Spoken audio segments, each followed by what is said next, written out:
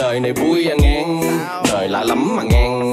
Đừng bông chen đừng ban coi chừng ăn dép là đen. Đừng tùm lum tơ lưa đừng lúc nắng rồi mưa.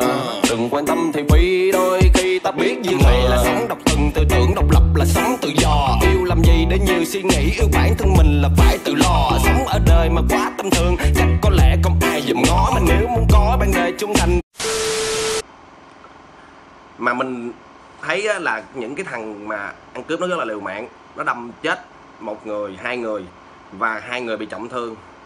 Thì mình mới thấy đằng xa á, có công an. Mình mới lấy mình lại nói anh ơi công an bây giờ anh, anh người ta vậy anh lại anh giải quyết ở sao. Công an nói chuyện như tác vô mặt mình vậy. Nó nói mình à, à, bên đó anh khác phường em ơi em có gì em kêu phường à, bên đó giải quyết. Vậy giờ bạn bây giờ bây giờ mình muốn tin vào công lý mình tin ở đâu đây? Mình không có cái gì để tin luôn. Cuộc đời nó trả cho mình hai chữ làm mày niềm tin làm mày ngu. Cuộc đời này đúng là đây là mình nói á, là ở một cái phạm trù là một mức nào đó trong một số người nào đó ở trong cái công lý này vẫn có nhưng mà mình hiện tại là mình mình nói thẳng là mình đéo tin.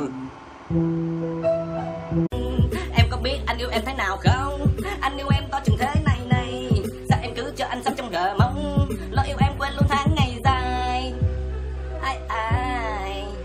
Ai ai Lệ lệ bè bè bè bè bè bè bè bè Ê Đối với anh em là tuyệt vời nhất á Em là cô gái xinh như tiên dáng chân á Để anh tán mặt mình cái cho tỉnh nha À, à, à, à, à, à, à, à, à, à.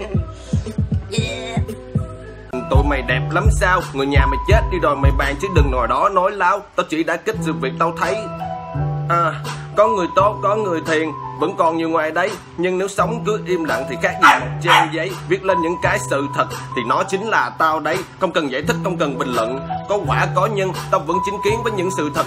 Có người giả nhân, không cần giải thích, không cần bình luận.